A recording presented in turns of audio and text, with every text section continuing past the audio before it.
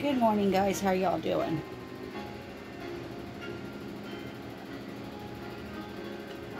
I'm just drinking my coffee because I need caffeine. I'm a, not a morning person, so I'd have to drink coffee or Dr. Pepper or something.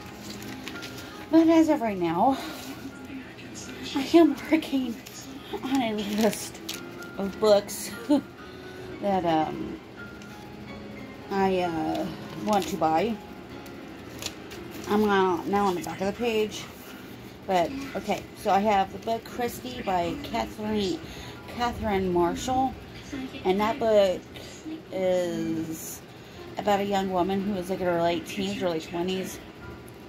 And her name was Christy. And she goes to Cutter Gap, Tennessee. Cutter Gap is actually a fictional don't quote me on that one, but Cutter Gap is up in the smoke. It's supposed to be smoking up in the Smoky Mountains, and supposed to be a fictional location in Tennessee. But then I've seen YouTube videos that had like where the like the actual houses of some of the people in the Cutter uh, in the book. So I don't know. Did she just change the name of the little, little um, village um, I don't want to say town because I had like maybe barely 100 people in the, in the area. But it's about this young girl that goes up to, goes to Tennessee to be a teacher in a room, a one room schoolhouse. And it was like in the uh, 1920s, I think, if I remember correctly. No, no, no, no, that's not right. Um, 1910, the teens, 19, it was, in, in between 1900 and 1920s 20s when it was done. The storyline was done.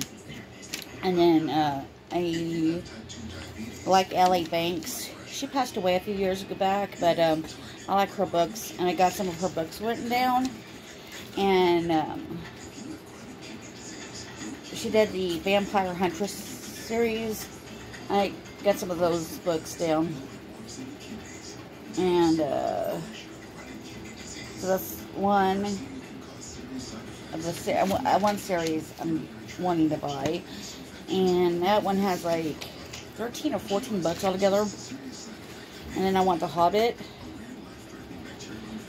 and Lord of the Rings. I had both of the I had both series, The Hobbit, well, both the Lord of the Rings and The Hobbit but I've moved so much that I don't know what happened to the book, so I'm having to buy the new buy new copies of the books. Because I don't know what happened. Because I moved around a lot in my late 20s and 30s. Late 20s, early 30s. So, but now I, uh, I'm gonna get those books back and but no I want to go book guys I have so many books but I I love books. Now there um I usually prefer the books over the movies if they make them in the movies. But there's one book I actually preferred the movie over the book, and it was uh, Witches of Eastwick. Um, John Updike, he's a good author, but I felt like his book, like Witches of Eastwick, was just the book was just very drawn out in a few places, and uh, just I couldn't. I I have forced myself to read it. I had to force myself to read it. I just I could not get into it. But since I loved the movie so much, I'm like, I want to read the book. And a guy I dated at the time, he bought me the book because he knew I loved the movie. And I just could, I had, I mean, I just could not, I couldn't get into it. But when, uh, then I loaned it out to a, a neighbor of mine and I had, and he never gave it back when he moved. So I'm like, so I really truly don't know if he he even if he still even has the book or not, which is I hate I hate that, but at the same time it's okay. So, but no, other than that, I just wanted to talk and But, uh, shoot. But, no, I just, but, uh, no, I love you guys. I appreciate you guys watching my videos.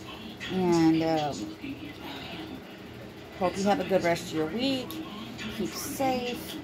And you are loved. I just want you to know that you guys are loved.